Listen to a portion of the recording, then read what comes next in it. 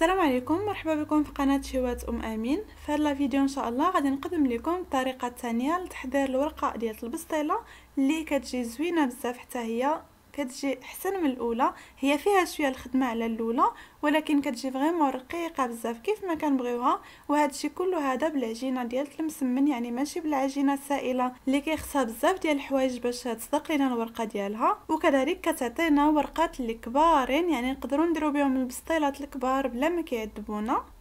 فتبعوا معايا لا فيديو حتى الآخر باش تشوفوا مزيان الطريقة ديال التحضير. إذا باش كنحضروا هاد الورقة؟ فكنحتاجوا فقط الدقيق الأبيض أي الدقيق ديال الفرص والملحة والماء بارد فأنا خديت نص كيلو ديال الدقيق الأبيض. يمكن لكم تاخذوا الكمية اللي بغيتو كديروا الملحة على حسب الذوق. في نص كيلو تقريبا واحد المعلقة صغيرة وغادي نعجنوها بالماء بارد حتى كتجمع لينا. المهم أن كنخليو العجينة تكون قاصحه يعني كنضيفوا الماء غير شوية بشوية. une fois كتعجن لينا كتجمع لينا العجينة فصافي كيكفي ما كيخصناش نخففوها. لأن كيف ما كتعرفوا فالدقيق ديال ال force والعجينه ديالو واخا كتكون قاصحة une fois كنخليوها ترتاح من بعد كتطلق راسها. يعني إلا درنا خفيف شوية فغنخليوها ترتاح غادا تخفف لينا أكثر وما غاديش نقدروا نتحكموا فيها من بعد. وصافي دابا غادي نستمر. حتى كتجمع ليا العجينه ومن بعد غادي ندلكها مزيان فوق سطح العمل حتى كيولي القوام ديالها املاس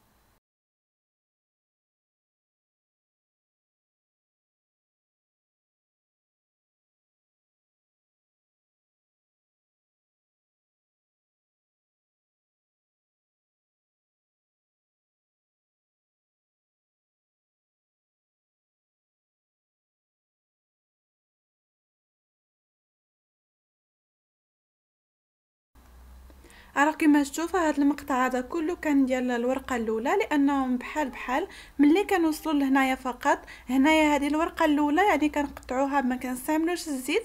ففي هذه الورقة هذه ديال اليوم يمكن لكم تقطعوا بهذه الطريقة هذه ومن بعد فاش تبغوا تشكلوهم كويرات كتستعملوا الزيت وكدهنوهم مزيان أو لا مباشرة كتقطعوهم بحال اللي كنقطعوا المسمن الكريسات اللي يكونوا صغيورين وحنا كندهنوهم مزيان مزيان بالزيت. ومني كنخليوهم من بعد هكذا يرتاحوا فكيكونوا مدهونين يعني بحال بحال الكريسات ديال المسمن.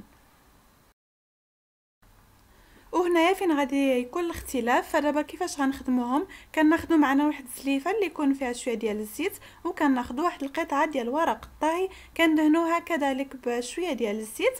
كناخذوا واحد الكريسه بطبيعة الحال بعد ما كنخليوهم يرتاحوا مزيان على الأقل واحد نص ساعة باش من بعد كيجيونا ساهلين نسرحوهم.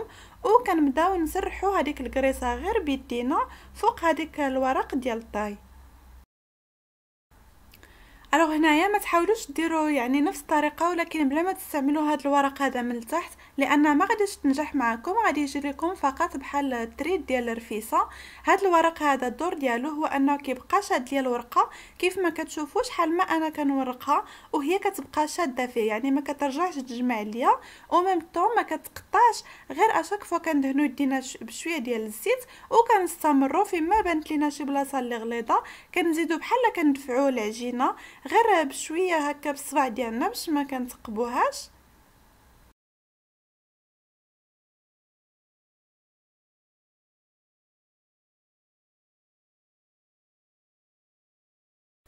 وكما غادي تلاحظوا فهاد العملية هذه كتاخذ لنا شوية ديال الوقت ولكن franchement كتعطينا واحد الورقة اللي كبيرة بزاف كنقدروا نشكلوا بها من بعد يعني بالنسبة للبريوات الحلوين أكثر من عشرة ديال البريوات. وفي البسطيله كذلك يعني كنحتاجوا vraiment لواحد الكمية اللي محدودة لأنكم كما غادي تشوفوا من بعد ملي غادا طيب هذوك الجنيبات ديالها ما كنحتاجوا لا نقطعوهم لا والو. كيكونوا مورقين حتى هما فعلى حساب إلا خدمناهم تيكونوا حتى هما مورقين ما فيها حتى شي بلاصة غليظة.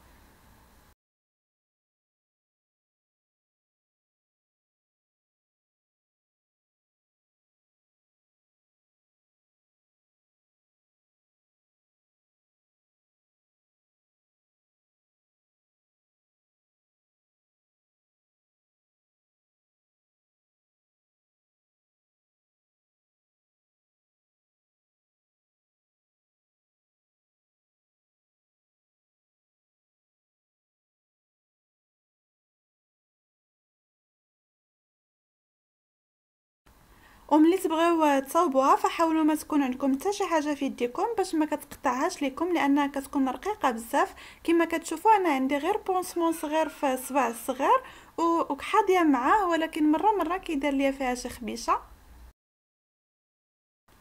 وصافي دابا غادي ندوزو باش نطيبوها. خديت من قبل واحد واحد الصينية ديال الفران اللي قلبتها على الظهر ديالها. يعني من الأحسن تاخذوا شي حاجة اللي كبيرة وتكون مسطحة وغادي نطيبها فوق منها بالورق ديالها. كما شفتوا كتكون العافية مهيلة وكتكون الصينيه باردة.